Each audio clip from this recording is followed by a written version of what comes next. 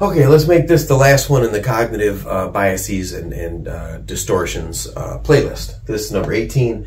This is the curse of knowledge, or I've heard it referred to um, as cognitive conservatism. This is the idea that once you learn something, you um, mistakenly presume that to be obvious to others. Uh, this uh, this one's a big problem um, for me uh, personally because of uh, the Asperger's, and uh, I read a lot. And I, when I talk to people, I've read a book, and it's it's kind of in my memory, and it pops up quick because of uh, the availability um, bias or or whatever. Uh, I make the mistake of assuming I talk to people or try to have a conversation, assuming that they uh, also know what's going on in my head because they've read that book. Uh, and at the same time, I'm super frustrated when somebody says something to me. Um, like, for instance, a, a, a, car mechanic, you know, you'll go somewhere to have your car fixed and they'll come out and say, well, you know, you need to, you got your zip zorps are, are blown, you got to replace your rotor cuff on this bushing and this, and they, they talk to you as if you work on cars all day long and your entire world is uh, mechanics and um, mechanistic parts and um, that makes people, and of course, people like, well, they don't want to admit when they don't know things um, for some reason. That's uh, one of the other cognitive distortions we talked about here. But then they'll tend to feel um, stupid about that or not say, hey, you know what? This is the cognitive conservatism. You know a lot about that, and you're assuming that I do, but I don't. So maybe you could um, work that into layperson terms. You get this a lot uh, with um, physicians. They use a lot of medical term, a lot of jargon, uh, any profession really, a lot of jargon. Uh, sometimes that's done to take advantage of you, uh, like forcing a frame uh, or making you feel like you um, don't know enough to anchor you into a position of ignorance. They take advantage of you in that, that, in that case. Usually anybody's trying to sell you something. But uh, the curse of knowledge is remembering your confusion about a subject before you understood it. So when you're talking to somebody about something, it's always try to put yourself in in that frame of mind before you understood uh, the topic. So um, I teach at the university. I'm the the human anatomist or a human anatomist there, not the. And uh, I teach uh, anatomy to patients and students, uh, and really anybody that listen to me talk about it, because that's uh, what I enjoy. Um, you should check out our anatomy playlist uh, on the Uncivilized channel. But it, sometimes it's hard to remember when you're rattling through the names of uh, bones and muscles and nerves and arteries and their placement and using all those terms.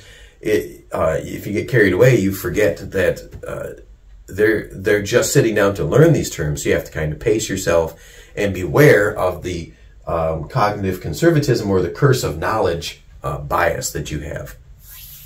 In martial arts, we talk about putting yourself in the white belt frame of mind. A lot of times, um, you know, if you're a, a higher ranking, uh, like say a black belt, and you've been there doing this martial art for years, you're really good at it. You forget what it was like when you weren't good at it. Um, you know, you might fall prey to the, um, the bias that we talked about a little earlier, where you think, well, I'm really good at it because, uh, you know, I did all the hard work and everything else, and you forget all the the higher ranks and the other people that took hours and hours to mentor you and to, to, to help you learn it and to practice with you. And you, um, you know, you get into that distortion and you, you kind of judge uh, the, the people that are still learning, like, oh, why can't they get it? Mm, this is a tough one. You got to stop and think, okay, well, when I was a white belt, I also had a lot of trouble remembering the terms uh, and the, the actions and the movements and the strategies and the physical fitness. So cut them a break. Try to put yourself in that beginner's mindset, or at least remember, be mindful of what it was like before you acquired the knowledge. Um, and then when you're talking to others, you know, maybe get a feel for where they're at on the, the um, information or the knowledge of that topic matter so you guys can uh, converse. A good rule of thumb for something is what Socrates said is first define the terms. So always agree on um, what you're talking about, maybe the level uh, you're gonna uh, of, of, of, terminology you're gonna use to talk about it.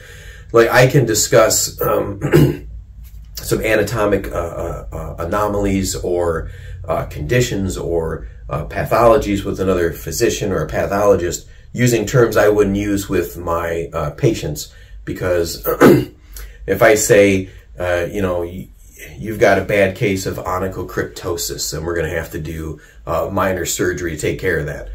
Um, I forget, well, I don't forget, but in this example, that would be me forgetting that the patient might have never had a medical terminology course or understand Latin and uh, Greek uh, root words. And all they hear is a big scary sounding word and surgery. Uh, when really what I was saying is you've got onychocryptos, you have an ingrown toenail and we're going to do a minor surgery and cut that out.